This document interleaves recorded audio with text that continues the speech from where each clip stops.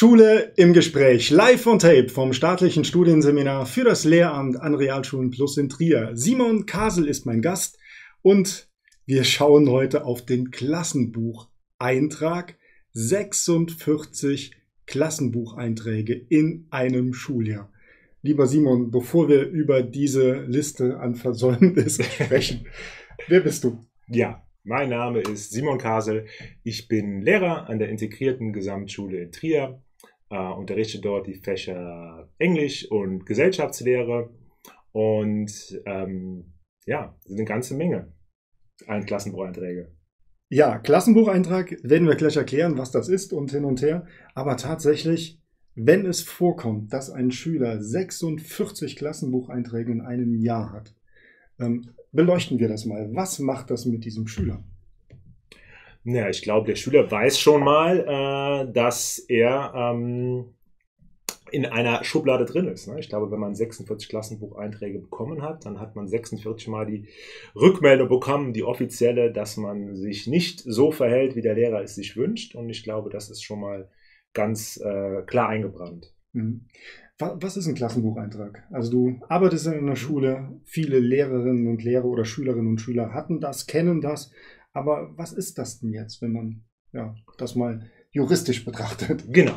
Also ein Klassenbucheintrag, ähm, äh, damit geht ja einher, dass ich damit ähm, festhalte, dass ein Kind sich nicht an ne, die allgemeinen Regeln der Klasse und der Schule gehalten hat. Ähm, es ist auch ein ähm, eine Mitteilungspflicht an die Eltern. Sobald ich etwas ins Klassenbuch schreibe, muss ich die Eltern auch umgehend darüber informieren. Ähm, das ist so ein bisschen die, die, die, der formale Hintergrund dessen. Und es ist natürlich was, ähm, etwas Offizielles. Ne? Der Klassenbucheintrag ähm, bleibt ähm, stehen, also ist quasi archiviert und ist halt nicht was anderes, als wenn ich was ins Hausaufgabenheft schreibe. Mhm. Also ich frage jetzt mal nach, was ich schon erlebt habe. Der Lehrer trägt was ins Klassenbuch ein, Schüler XY benimmt sich nicht, ist laut, stört, schlägt.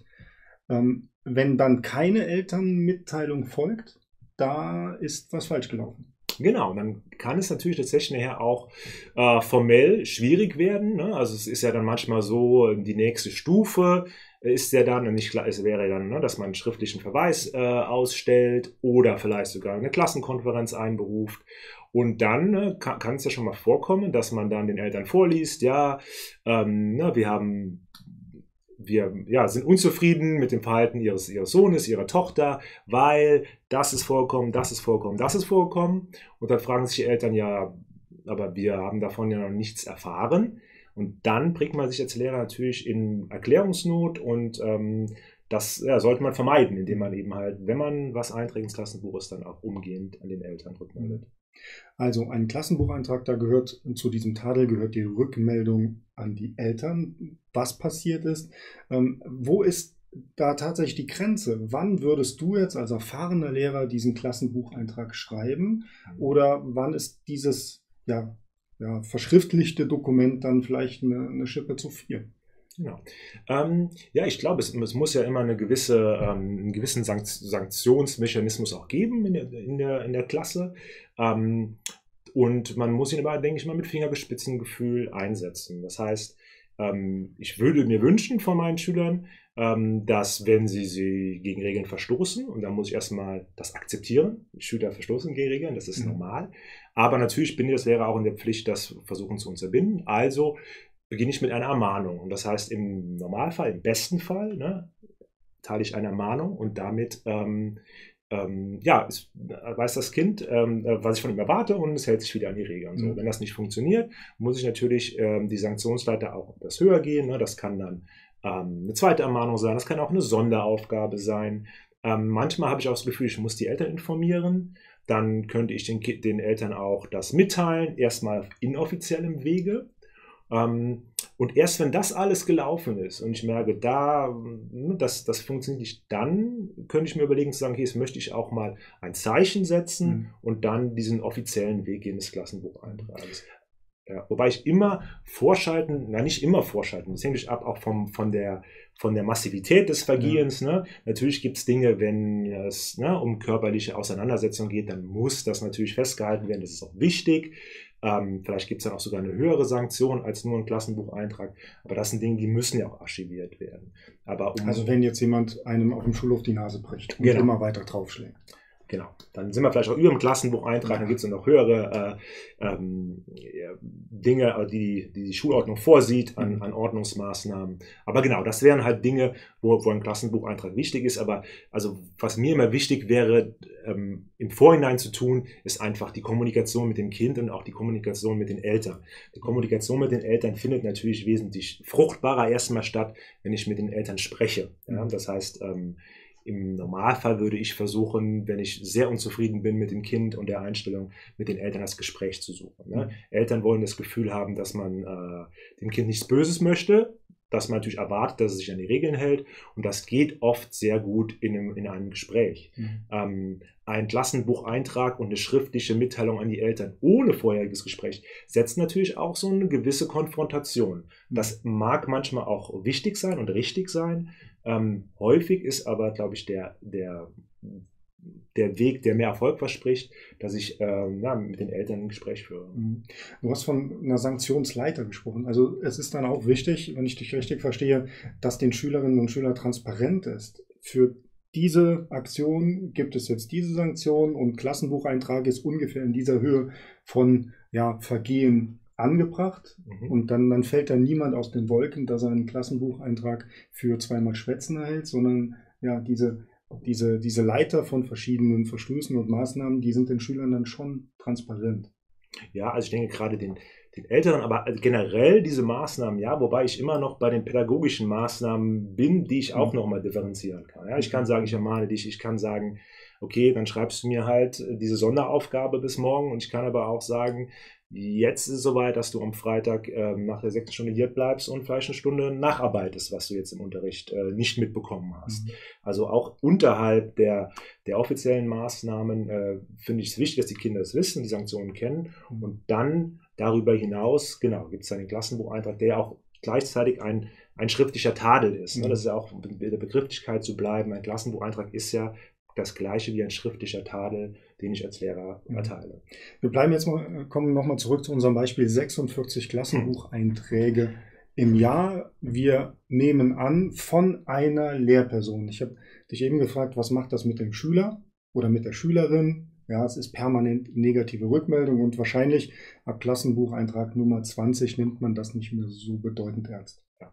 Aber was macht das denn mit der Lehrperson? Oder wann also das, das gibt es ja, vielleicht ja. jetzt nicht in dieser Höhe, aber es gibt Lehrerinnen und Lehrer, die mit Klassenbucheinträgen gefühlt um sich werfen. Was macht das mit diesen Kolleginnen und Kollegen? Die Kollegen haben ja auch einen Grund dafür. Also ähm, zum ersten gehen sie oder werden sie ihrer Pflicht oder gehen sie ihrer Pflicht nach, eben äh, Verstöße festzuhalten und auch die Eltern zu informieren, was ja auch wichtig ist und seine Berechtigung hat. Ähm, ich glaube, wir sind uns einig, dass wenn ich natürlich ähm, einem Schüler eine solche Zahl an Klassenbucheinträgen gebe, ähm, dass es natürlich inflationär wird und am Ende auch ähm, ja, sich nicht zum Besseren wenden wird wohl. Aber wir müssen ja auch erkennen, dass es oft Schülerverhalten gibt, was mich als Lehrer unglaublich unter Druck setzt, was mich stresst und was ich auch nicht lösen kann, weil es eben nicht an mir oder meiner Beziehung zum Schüler liegt, sondern weil es andere Gründe gibt, warum dieses Kind sich oder momentan nicht in der Lage ist, sich an diese Regeln zu halten, ähm, die ich als Lehrer dann auch ne, an einem gewissen Punkt auch nicht mehr beeinflussen kann. Mhm. Aber ähm, grundsätzlich, also man, man kann diese Situation, ohne dass man Einzelheiten kennt, ja jetzt nicht genau bewerten. Ähm, aber der Klassenbucheintrag sollte in der Wahrnehmung von Lehrerinnen und Lehrern schon eine relativ oben angesiedelte Sanktionsmöglichkeit sein. Da gibt es mhm. ja zuerst, wie du sagtest, pädagogische Mittel, ähm, die man vielleicht zuerst dann einsetzen sollte. Genau. Das finde ich wichtig, aber ich finde genauso wichtig, weil das muss man ja auch, was ich eben erwähnt habe, es gibt ja diese Situationen, die einfach auch für mich als Lehrer nicht lösbar sind. Wenn ich denn äh, dann bin bei dem Klassenbucheintrag, beim ersten, beim zweiten, beim dritten, dann muss ich sagen, okay, das führt auch nicht zur gewünschten Verhaltensänderung. Was mache ich jetzt? Und dann auch ganz wichtig, wo kann ich mir Unterstützung und Hilfe holen?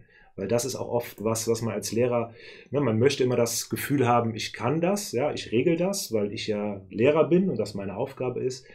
Aber es gibt Situationen, mit denen kann ich als Lehrer nicht allein fertig werden. Ne? Das kann ich auch nach ähm, weiß ich nicht, bin auch schon über zehn Jahre im Dienst, ähm, aber die Situation erlebe ich auch immer noch. Und dann muss man auch wissen, okay, wo kann ich, was ist der nächste Schritt? Wo kann ich mir Hilfe holen? Äh, bei Kollegen, bei der Schulleitung, bei der Schulsozialarbeit. Ähm, da gibt es ja mittlerweile an Schulen meist mehrere Anlaufstellen und die sollte man dann auch äh, kontaktieren und dann gemeinsam überlegen, was können die nächsten Schritte sein, ähm, die die Situation verbessern. Weil darum geht's. Ja, es geht ja darum, äh, dass die Situation sich für mich als Lehrer und eben natürlich auch für den Schüler ähm, löst. Ja, es geht ja nicht darum, möglichst diese Sanktionsleiter schnell hochzulaufen. Mhm. Also wenn ich richtig verstehe, wenn ich als Lehrer ähm, mit vielleicht mit einem einzelnen Schüler, mit einer Schülerin immer in Versuchung komme, inflationär vielleicht den fünften, sechsten Klassenbucheintrag im Halbjahr zu verfassen, dann wäre das für mich dann auch das Zeichen zu überlegen, Moment, stimmt jetzt irgendwas an der Beziehung nicht, an meiner Wahrnehmung? Und dann wäre der Klassenleiter oder vielleicht die Schulsozialarbeit ja dann der richtige Ansprechpartner. Genau. Ja, und ich glaube, dass es auch ganz wichtig ist, um auch aus Lehrersicht, um mich selbst zu entlasten, mhm. weil ähm, ich glaube auch nicht, dass es viele Lehrer gibt, denen das Spaß macht, äh, Klassenbucheinträge zu verteilen. Und wenn ich es an den gleichen immer wieder verteile, ähm, ich merke ja auch selbst, es wird nicht besser und es ist, ja, ich bin in so einer Frustrationsrolle dann drin. Ähm, ich weiß, es wird nicht besser und ich möchte es aber auch nicht hinnehmen, das Verhalten. Und das ist auch richtig so, dass man das Verhalten so nicht hinnimmt und nicht aufgibt und sagt, es ist einfach so. Ähm, aber man muss einfach dann seinen Horizont erweitern und schauen, okay, wo kann ich denn andere ähm, Unterstützung bekommen, wo kann ich vielleicht andere Wege finden, ähm, das Problem zu lösen. Also schlussendlich ist ein Klassenbucheintrag ja auch ein pädagogisches Mittel. Und wenn ich merke, ein pädagogisches Mittel wirkt nicht, dann sollte ich bei den anderen Profis ja schauen, die es in der Schule gibt. Genau. Lieber Simon, vielen Dank für das Gespräch. Wir hoffen, dass Sie alle ohne Klassenbucheinträge durch die Woche kommen. Wir bedanken uns fürs Zusehen. Sie können uns Feedback hinterlassen an mail at seminare-trier.de. Gerne auch Daumen nach oben oder sprechen Sie über dieses Podcast oder diese YouTube-Sendung. Und am schönsten wäre es, wenn Sie nächsten Dienstag wieder mit dabei sind. Bis zum nächsten Dienstag also bleiben Sie uns gewogen. Música